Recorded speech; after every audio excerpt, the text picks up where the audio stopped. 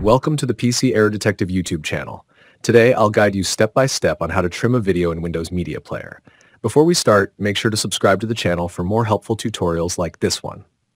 Let's get started. Step 1. Locate the video file you want to trim and double-click on it. This will open the video Welcome to the Windows Video Player. Step 2. Once the video is playing, look for the Edit button. It's represented by a small pencil icon and is located in the lower right corner of the video player window. Click on it to access editing options. Step 3. From the menu that appears, select Trim. This will bring up the video trimming interface where you can make adjustments.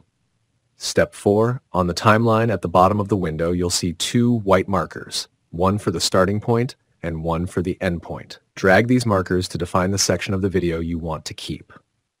You can preview your selection to ensure accuracy, but additional editing is optional. Step 5. Once you're satisfied with the trimmed section, click the Save a Copy button located in the top right corner. The trimmed video will be saved in the same folder as the original, keeping both versions intact. And that's it. You've successfully trimmed your video using Windows Media Player. Thanks for watching.